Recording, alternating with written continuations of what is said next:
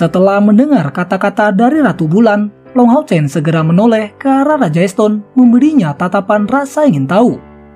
Di sana, Raja Eston mengangguk dengan ekspresi suram. Dia benar, setelah pohon itu ditanam, kamu tidak akan pernah bisa untuk menghancurkannya.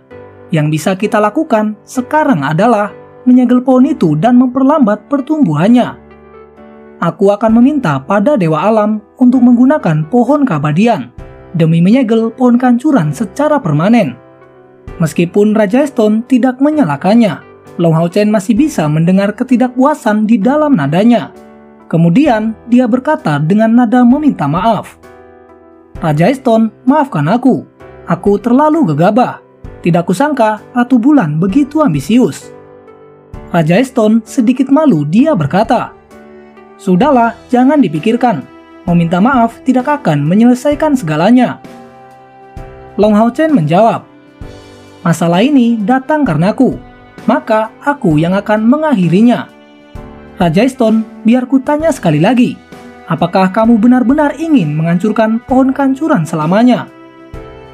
Raja Eston segera menjawab, Tentu saja, Dewa Alam tidak mampu untuk menghancurkannya, dan dia tidak ingin pohon kancuran mempengaruhi pohon keabadian.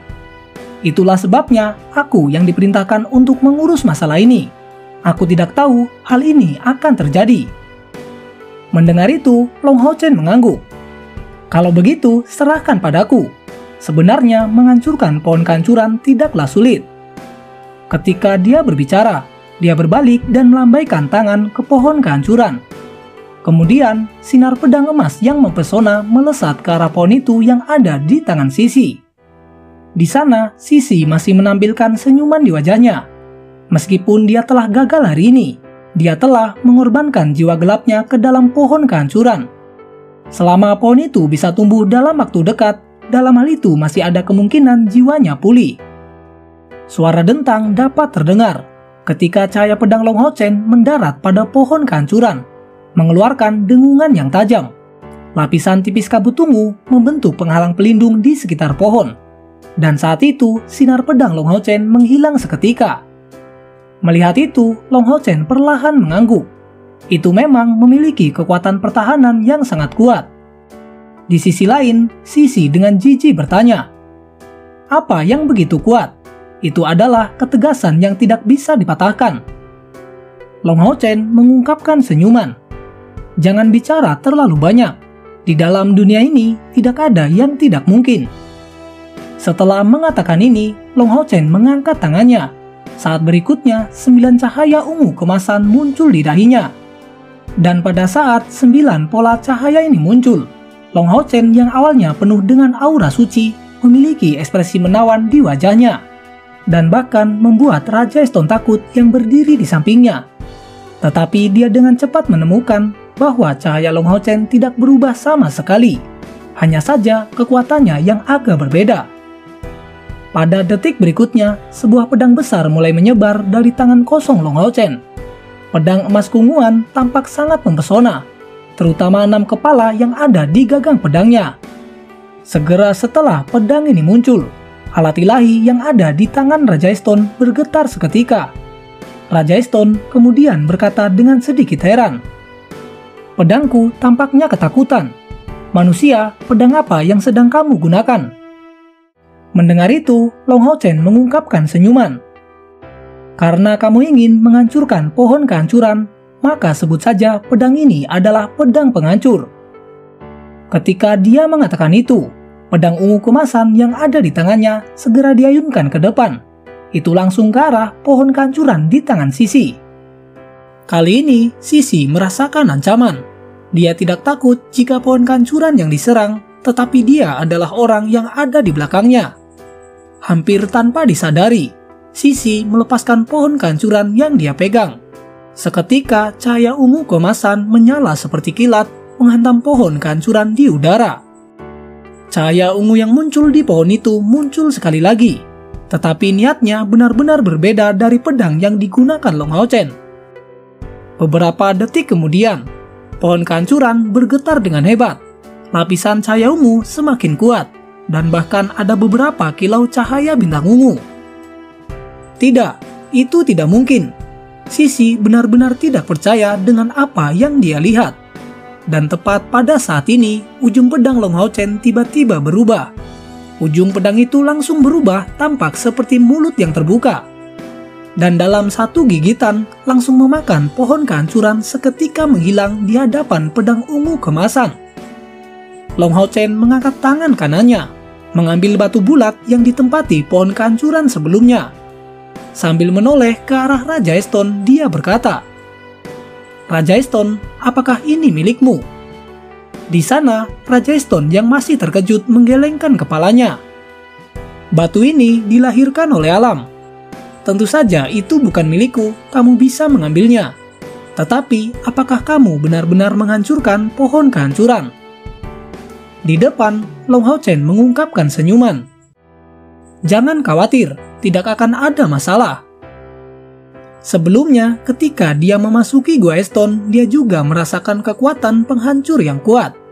Dari sana, suasana hati Hao Ye muncul di benak Long Hao Chen. Hao Ye terus mendesak Long Hao Chen untuk mengambilnya. Hao Ye juga memberitahu, meskipun kekuatan penghancurnya murni dan kuat, itu tidak cukup untuk menyakitinya. Dan itu hanya seperti sebuah suplemen baginya. Dengan ini, dia akan dapat menyelesaikan evolusi terakhir dalam waktu sesingkat mungkin. Alasan mengapa Long Hao Chen terus bertanya kepada Raja Eston, apakah dia ingin menghancurkan pohon kehancuran? Itu sebenarnya untuk evolusi Hao Ye. Dia benar-benar tidak tahu apakah pohon kehancuran sudah hancur, tetapi dia mengerti satu hal. Semua yang telah masuk ke dalam perut Hao Ye tidak mungkin akan bisa dikeluarkan pada saat ini, Sisi benar-benar tercengang. Harapan terakhirnya telah hancur. Tiba-tiba dia berteriak dan berguling-guling di tanah tanpa kesakitan. Tidak peduli betapa cantiknya seorang gadis. Itu tidak akan terlihat bagus ketika dia berteriak kesakitan seperti ini. Melihat itu, Long Hao Chen menjadi terkejut. Raja Eston, ada apa dengan dia? Melihat sisi kesakitan, Raja Eston sangat gembira Manusia, kamu benar-benar berhasil. Pohon kancuran sudah tidak ada lagi. Orang itu telah kehilangan sebagian jiwanya. Itulah sebabnya dia sangat kesakitan. Lihatlah, energi gelap di tubuhnya juga mulai menghilang. Sekarang, dunia Eston sudah kembali aman. Tidak akan ada lagi ancaman dari pohon kehancuran. Terima kasih, aku Raja Eston akan menjadi temanmu selamanya. Mendengar kata-katanya, Long Hao Chen mengungkapkan senyuman. Dan setelah berpikir sejenak, dia kembali mengeluarkan pedang Arya Sang Dewi Cahaya dan pedang teratai cahaya biru. Kedua pedang ini tampak memiliki beberapa retakan dan auranya juga semakin lemah. Namun, pada saat ini, Long Hao Chen masih merasakan aura kehidupan yang sangat familiar yang berasal dari kedua pedang ini. Long Hao Chen kemudian berkata, Raja Eston karena kita sekarang menjadi teman. Bolehkah aku meminta bantuanmu? Raja Eston menjawab tanpa ragu-ragu. Tidak masalah, aku akan membantumu. Long Hao Chen perlahan mengangkat pedang di udara dengan perlahan menyatukan pedang yang sudah patah. Cahaya kemasan warna-warni dari domain Dewa Cahaya naik seketika, benar-benar menyelimuti kedua pedang di dalamnya. Sepertinya mereka telah menyatu aura kehidupan dan penciptaan juga telah muncul. Namun, jumlah kekuatan ini terlalu banyak untuk dua pedang yang rusak. Dan pedang ini juga mulai mengeluarkan suara senandung yang samar. Long Hao Chen kemudian berkata dengan suara yang dalam, Tanpa kehancuran, takkan ada kebangkitan. Dia telah membayar mahal untuk merawatmu, sekarang bangkitlah untukku. Setelah kalimat ini terdengar, sebuah ledakan terjadi seketika pedang kehidupan dan penciptaan meledak dalam sekejap.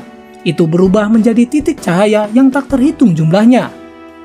Waktu tampaknya seperti berhenti. Kekuatan yang mengendalikan proses kehidupan langsung menyelimuti titik cahaya ini. Sebuah cahaya kemasan warna-warni menemani detak jantung Long Hao Chen yang cepat keluar dari dadanya. Itu langsung memasuki titik cahaya kemasan Cahaya kemasan mulai meluas dengan cepat dan aura kehidupan terasa semakin kuat. Seolah-olah sebuah sosok emas kecil sedang dilahirkan dan sosok itu secara bertahap muncul. Secara perlahan bertambah besar dan tubuhnya mulai terbuka. Dari sini dapat terlihat ada tiga pasang sayap kecil yang ada di punggungnya. Penampilannya juga menjadi lebih jelas, cantik, tetapi dia masih tampak sangat lemah. Benar, itu adalah Yating.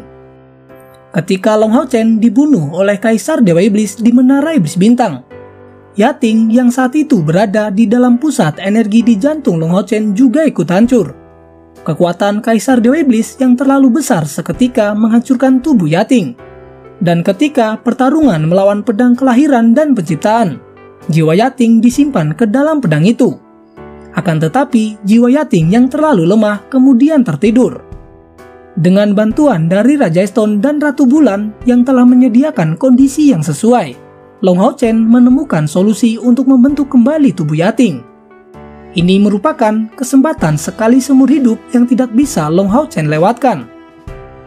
Proses ini sangat rumit dan sangat merepotkan, dan itu juga sangat menghabiskan kekuatan dari Long Hao Chen. Secara bertahap, tubuh Yating menjadi stabil, Long Hao Chen menghela nafas lega. Setidaknya dia yakin jiwa Yating tidak akan pecah dalam kondisi seperti ini.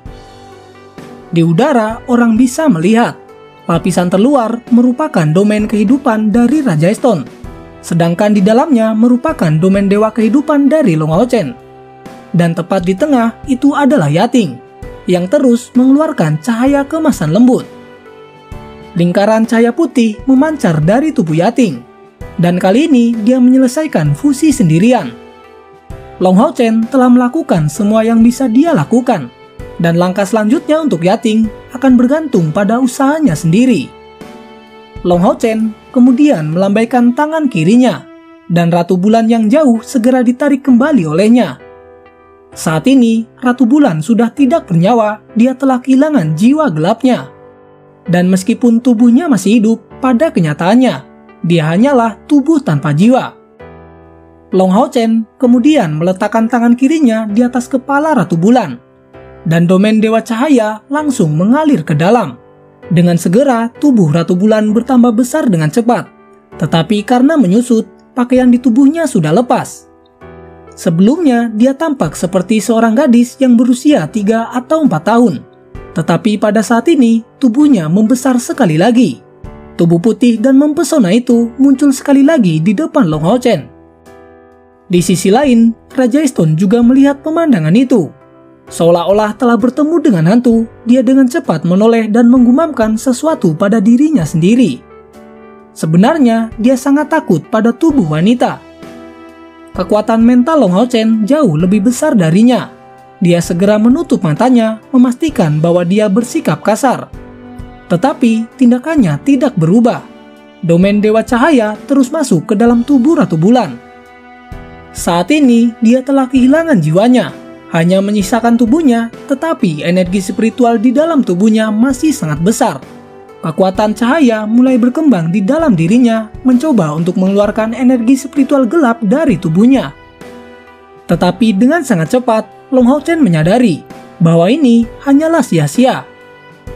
Elemen kegelapan dari Ratu Bulan memang sangat kuat. Kecuali Long Hao Chen benar-benar menghancurkan tubuhnya, tidak mungkin baginya untuk membersihkan dari elemen kegelapan. Percuma saja, jangan buang-buang energimu Ratu Bulan merupakan pemimpin peri kegelapan. Elemen kegelapannya tertanam di dalam dirinya. Raja Eston sangat mengerti apa yang sedang dilakukan Long Hao Chen. Bagaimanapun, Yating merupakan peri elemen dan dalam arti tertentu, hanya merupakan keberadaan dalam bentuk jiwa. Tidak peduli seberapa kuat jiwanya, itu tetaplah jiwa. Raja Eston merupakan pengendali kekuatan kehidupan, jadi dia secara alami memahami apa yang ingin dilakukan Long Hao Chen. Tetapi dia tidak percaya bahwa Long Hao Chen akan berhasil. Di sana, Long Hao Chen merenung sejenak sebelum menjawab. Mungkin hanya ada satu cara lain. Ketika dia mengatakan itu, dia mengangkat tangan kanannya dan kemudian menempelkannya di dada kiri Ratu Bulan. Raja Stone tidak bisa membantu tetapi dikejutkan oleh tindakan Long Hao Chen. Kemudian dia buru-buru berkata, Temanku, jangan sampai kamu merusak hati cahayamu. Dia takut Long Hao Chen akan jatuh cinta pada pesona, dan bahwa dia akan melakukan sesuatu yang seharusnya tidak dia lakukan. Jika itu masalahnya, kekuatan cahayanya pasti akan menjadi tidak murni lagi. Long Hao Chen dengan ringan menggelengkan kepalanya, dan segera tangannya yang menempel di dada Ratu Bulan bersinar dengan cahaya merah samar. Tetesan darah muncul dari jarinya. Setelah itu, perlahan meresap ke dalam kulit Ratu Bulan. Melihat itu, Raja Eston segera bertanya, Temanku, apakah itu sepadan? Sekalipun kamu berhasil, vitalitasmu pasti akan terluka. Biarpun peri elemen tidak punya tubuh, dia juga akan selalu mengikutimu. Mendengarnya, Long Hao Chen tanpa ragu menjawab. Yating bukan hanya peri elemen, tetapi dia juga teman yang sangat berharga bagiku. Saat ini, Long Hao Chen melakukan hal yang sama seperti di masa lalu. Dia telah menggunakan darahnya sendiri untuk mengubah elemen kegelapan di tubuh Ratu Bulan. Sedangkan di udara, tubuh Yating sedikit bergetar. Emosinya berfluktuasi dengan sangat cepat tetapi karena penggabungannya yang belum lengkap, dia tidak bisa bergerak sedikit pun. Dia hanya bisa menyaksikan tanpa daya ketika tetesan darah menetes dari tangan Long Hao Chen memasuki tubuh Ratu Bulan. Air mata terus menetes dari mata Yating. Melihat Long Hao Chen, dia tiba-tiba merasakan perasaannya menjadi penuh warna. Perlahan-lahan menutup matanya dan cahaya yang memancar dari tubuhnya menjadi lebih bersinar.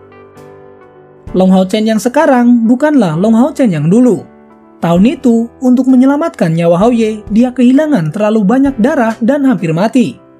Tetapi sekarang sudah berbeda. Dia memiliki tubuh Dewa Cahaya yang merupakan tubuh paling murni di seluruh dunia. Ketika tetes darah memasuki tubuh Ratu Bulan, garis darah gelap di tubuhnya segera berfluktuasi. Jika jiwa Ratu Bulan masih ada, dia masih bisa mengendalikan kekuatannya untuk mengusir secara paksa. Tetapi sekarang, dia sudah kehilangan jiwanya. Tetes demi tetesan darah Dewa Cahaya mengalir ke dalam tubuh Ratu Bulan. Kegelapan yang tidak cukup murni bertemu dengan kemurnian cahaya, dan hasilnya bisa dibayangkan. Warna hitam secara perlahan digantikan oleh warna emas, dan juga kulitnya menjadi lebih transparan dan mulai mengeluarkan warna emas yang samar. Di sisi lain, Raja Eston menatapnya dengan penuh hormat. Dan untuk pertama kalinya, dia sangat berkesan dengan manusia yang ada di depannya. Secara perlahan, dia terbang ke belakang Long Chen, menempatkan kedua tangan di punggungnya. Dan dari dadanya, cahaya hijau bersinar menerangi tubuh Long Chen. Samar-samar orang bisa melihat bahwa dari dada Raja Eston, daun hijau tua berkedip-kedip. Itu adalah salah satu dari tujuh daun di puncak pohon kabadian dan merupakan sumber kekuatan dari Raja Eston. Saat ini dia menyalurkan kekuatan hidupnya sendiri, serta kekuatan hidup yang sangat besar dari pohon kabadian untuk membantu Long Hao Chen. Dengan dukungan Raja Eston, jantung abadi Long Hao Chen setidaknya memiliki kecepatan dua kali lipat. Selama denyut yang cepat ini, sirkulasi darahnya menjadi lebih kuat dengan dukungan kekuatan hidupnya yang sangat besar, perasaan lemahnya segera tersapu, dan kekuatan hidup yang sangat besar muncul dalam darahnya, membuat pembersihan garis darah gelap Ratu Bulan menjadi lebih mudah. Dan setelah beberapa saat, akhirnya elemen kegelapan terakhir telah dihapus dari tubuh Ratu Bulan. Seluruh tubuhnya mengeluarkan cahaya suci, dan kilau samar mengalir di bawah kulit putihnya itu tampak seperti patung yang sangat sempurna. Tepat pada saat ini, Yating akhirnya menyelesaikan fusi kekuatannya sendiri. Pilar cahaya putih melesat ke langit. Tiga pasang sayap di punggungnya berubah menjadi empat pasang. Di tengah kelembutan, auranya tampak memiliki kemurnian dan ketajaman yang tak terlukiskan. Penampilan awalnya yang bersemangat menjadi tenang ketika dia diam-diam menatap Long Hao Chen ada rasa hormat, ada cinta, dan juga emosi positif yang tak terhitung jumlahnya. Long Hao Chen mengungkapkan senyuman. Yating, tubuh ini seharusnya bisa menampung jiwamu. Selama penggabungan berhasil, maka kamu akan menjadi peri sejati. Sedikit mengangguk, Yating terbang ke arah Long Hao Chen kemudian menjawab. Tuan tidak peduli apa pun itu, kamu akan selalu menjadi tuanku. Mendengarnya, Long Hao Chen mengusap kepalanya kemudian berkata, Gadis bodoh, jangan katakan hal seperti itu. Jika bukan karena salahku, kamu pasti tidak akan menjadi seperti ini. Aku sangat senang bisa membantu membentuk tubuhmu kembali. Di mataku, kamu seperti adikku sendiri. Jika kamu bersedia, kamu bisa memanggilku kakak. Bibir merah Yating bergetar sedikit sebelum tiba-tiba melemparkan dirinya ke pelukan Long Hao Chen dan berkata dengan penuh ketulusan, Kakak, Long Hao Chen menunjukkan senyuman. Jangan menangis, ini adalah hari kebahagiaanmu. Mendengarnya, Yating tiba-tiba mengangkat kepalanya, melingkarkan tangannya di leher Long Hao Chen. Menatapnya dengan mata berkaca-kaca, kemudian berkata, Tuan, sebelum kamu menjadi kakakku. Setelah mengatakan itu, dia tiba-tiba maju dan mencium Long Hao Chen. Semua ini terjadi terlalu tiba-tiba. Long Hao Chen dalam keadaan bingung tetapi di belakangnya, ekspresi dari Raja Eston tampak agak aneh. Ciuman dari seorang peri merupakan sesuatu yang paling berharga di dalam hidup mereka. Peri merupakan ras yang peduli tentang hubungan. Seorang peri hanya akan memiliki satu kekasih di dalam hidup mereka, dan cara mereka memberikan perasaan kepada orang yang mereka cintai adalah dengan memberikan ciuman untuk menunjukkan kesetiaan kepada kekasih dan hidup tanpa penyesalan. Ciuman dari Yating sangat cepat dan dia dengan lembut mengangkat kepalanya menatap Long Hao Chen. Tuan, aku tidak ingin menjadi adikmu. Aku hanya ingin menjadi kekasihmu. Setelah mengatakan ini, tubuhnya tiba-tiba bersinar dan kemudian menyatu dengan tubuh Ratu Bulan. Ciuman Yating dan juga kata-katanya memenuhi hati Long Hao Chen dengan keterkejutan. Meskipun dia tidak tahu apa arti ciuman dari seorang peri, dia bisa merasakan perasaan yatim padanya. Akan tetapi, dia tidak bisa menerima ini. Di dalam hatinya, hanya cair yang bisa mendapatkannya. Pada saat ini, di dalam tubuh Ratu Bulan, cahaya kemasan yang kuat mulai terpancar ketika jiwa dan tubuhnya mulai menyatu. Yating telah mengikuti Long Hao Chen untuk waktu yang lama, dan sejak dia mulai mengikutinya, dia tahu tentang hubungan antara Long Hao Chen dan juga Chai Er. Karena dia sangat memahami Long Hao Chen, dia tahu tidak mungkin baginya untuk bersamanya bahkan jika dia memiliki tubuh. Dan karena itu masalahnya, dia hanya bisa mundur selangkah dan menjadi adik perempuannya untuk terus hidup dan mati bersamanya. Saat ini, tubuh Ratu Bulan perlahan melayang ke atas dan sepasang sayap emas transparan perlahan menyebar dari punggungnya. Itu menunjukkan bahwa penggabungan antara Yating dan tubuhnya berkembang sangat mulus. Satu pasang, dua pasang, tiga pasang, empat pasang. Ketika sayapnya mencapai empat pasang, Long Hao Chen mengungkapkan senyum tipis di wajahnya. Ini menandakan bahwa setelah penggabungan, setidaknya kultivasi dari Yating tidak melemah. Dan tepat pada saat ini, sepasang sayap kelima tiba-tiba terbentang. Berbeda dengan empat pasang sebelumnya, sepasang sayap kelima ini sebenarnya berwarna biru muda, bukan berwarna emas muda. Melihat itu, Long Hao Chen mengepalkan tinjunya karena kegembiraan. Dan segera setelah sepasang sayap kelima, ada pasangan keenam. Keenam pasang, dua belas sayap, perlahan terentang di belakang Yating Delapan di antaranya berwarna emas dan empat biru. Itu tampak sangat mempesona. Fluktuasi energi spiritual di tubuh Yating sangat mencengangkan. Dan itu samar-samar memancarkan lingkaran cahaya warna-warni. Ini sangat mirip dengan efek domain dewa cahaya setelah evolusi. Akan tetapi yang membedakan adalah dari ketujuh warna tersebut. Tiga di antaranya paling mencolok, sedangkan empat lainnya berangsur-angsur mulai memudar seakan-akan ditelan oleh ketiga warna tersebut.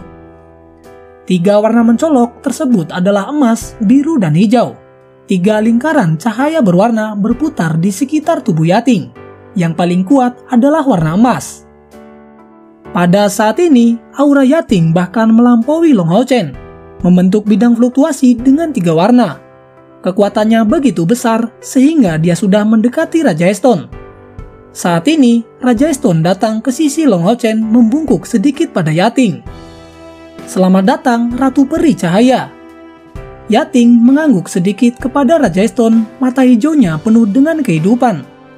Kemudian dia menatap Long Hao Chen dengan kedua tangannya membuat beberapa gerakan.